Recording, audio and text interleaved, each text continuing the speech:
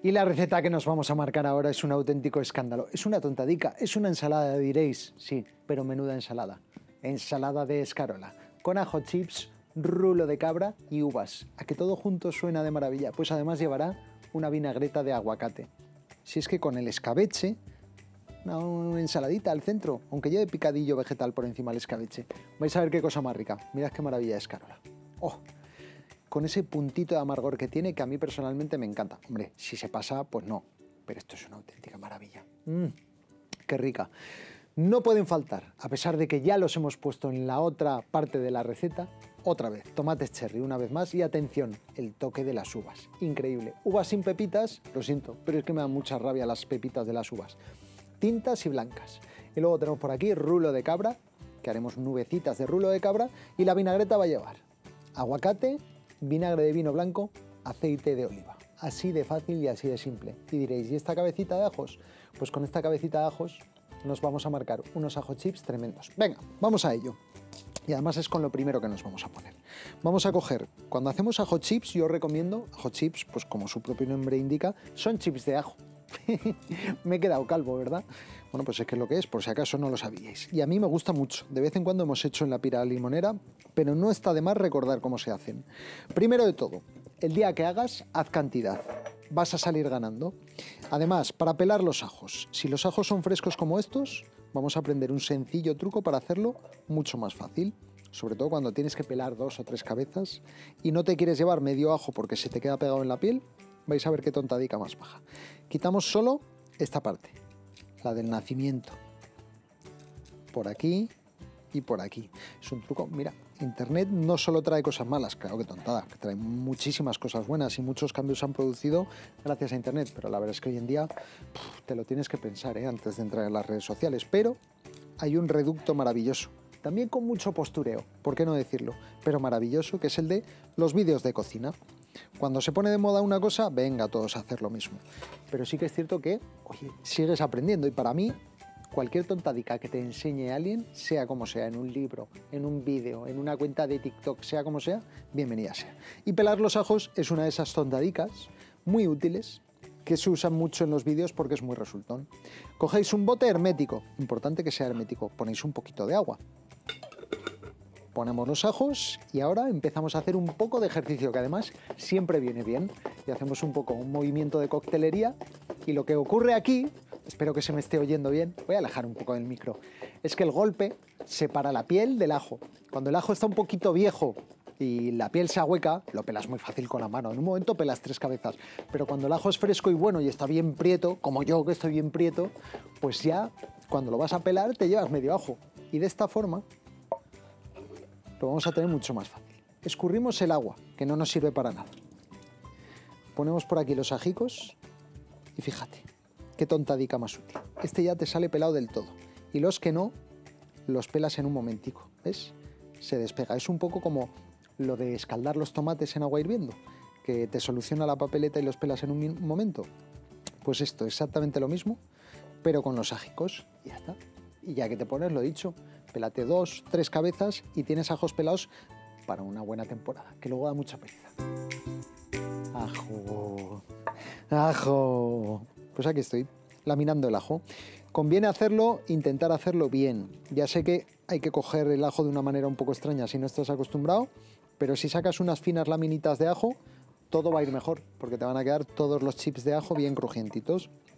Además, una vez que los fríes en aceite de oliva a fuego medio para que queden uniformemente tostados como una patata frita, puedes conservarlos si los secas bien con papelico para que el aceite no se enrancie durante bastante, bastante, bastante. Te pueden durar semanas.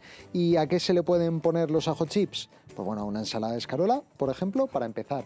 Pero a una cremica, patapón, en vez de costrones o además de ellos, le pones ajo chips a un filetito de pescado tristón, la merluza, por ejemplo, que es un poco tristona, que la haces así a la plancha y un poco de punch le falta, pues le pones unos ajo chips, potopón. Pon ajo chips en tu vida, os lo digo desde ya. Bueno, yo creo que con este vamos a rematar la faena. Vale, fijaos que lo que hago es poner los deditos, sobre todo, no ponerlos debajo del cuchillo, es fundamental para no cortarse. Y eso cómo se consigue poniéndolos así, en vertical, y lo tienes hecho Los vamos a hacer en aceite de oliva virgen extra, pero podéis freírlo en aceite de oliva refinado, en aceite de girasol, no pasa nada. Va a estar bueno igualmente. Y el aceite en el que hacemos los ajo chips, sobre todo hay que tener en cuenta que es un aceite maravilloso porque sabe mucho ajo, tostadito. Entonces lo puedes usar para un sofrito o para 20.000 cosas diferentes. Para cualquier cosa donde pegue el ajo, pues allí que puede ir. Unas verduritas, lo que sea. Vale, ponemos el ajo. Muy bien, necesitamos que el aceite no esté muy caliente, insisto. Cuando pensamos en chips, y sobre todo si son de patata, como echas muchas y el aceite baja de temperatura, pues lo que suele pasar es que pones un, aceite sandunguero, ¿no? No, no, aquí no, para nada. Lo que hay que hacer es poner un aceite a fuego medio, dar unas vueltecitas para que el ajo se suelte y queden las láminas separadas e ir tostándolas poquito a poco. Este burbujeo me piace, está bastante guay. Yo creo que se van a quedar súper tostaditos y perfectos. Muy bien, seguimos avanzando. ¿Con qué vamos ahora? Pues con la vinagreta, claro que sí. Vamos a poner una vinagreta a funcionar que va a llevar vinagre, que para eso es una vinagreta. Hay veces que no nos pensamos las cosas antes de decirlas.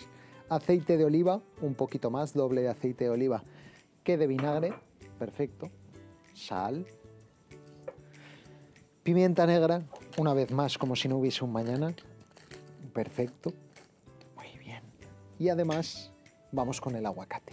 Pero en vez de triturarlo y hacer una especie de vinagreta cremosa, lo que vamos a hacer es cortarlo en daditos. Creo que este aguacate va a salir perfecto. Verdecito y en su punto de madurez. ¡Oh, maravilloso! Niquelado. Cogemos por acá, un hueso fuera y ahora lo que hacemos es cortar, pero dentro de la cascarita, no hace falta complicarse. Cortamos por acá. Cortamos en sentido contrario Ahora cortamos en vertical y ahora cortamos en horizontal. Y con esta simple tontada, además de haber pasado un rato maravilloso, porque mira cómo hemos pasado un rato bonito y hipnótico, haciendo ahí formas, cogemos la cuchara, sacamos por aquí ya tenemos el aguacate. ¡Hala! Listo, cortado en daditos perfectos. Venga para acá. Maravilloso. Muy bien. Y con la otra vamos haciendo lo mismo. Entonces, tenemos dos tareas muy sencillas. Hacemos eso con el aguacate y por aquí vamos vigilando el ajo. Vigilando el ajo. La nueva película de Isabel Coiset. Podría ser perfectamente, pero no. Es lo que estamos haciendo aquí. En cuanto veamos que esto está listo, cogemos un colador, racatra y volcamos de golpe. Porque si nos ponemos a pescar esto, nos pueden dar las uvas. Mira, las que tengo ahí.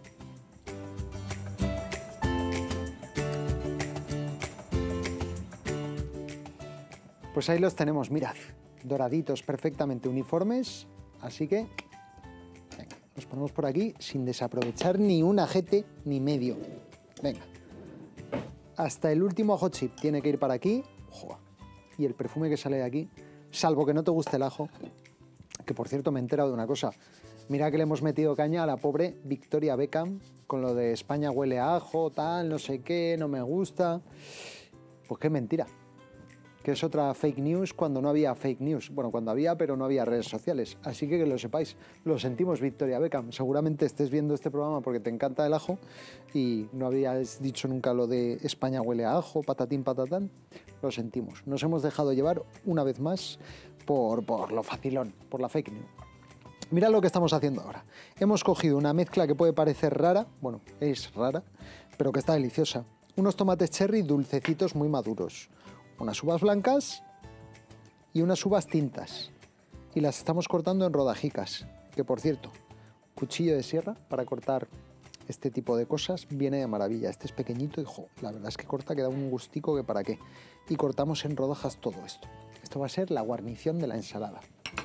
Por otra parte, la vinagreta agitamos un poquito para separar los dados de aguacate y emulsionamos.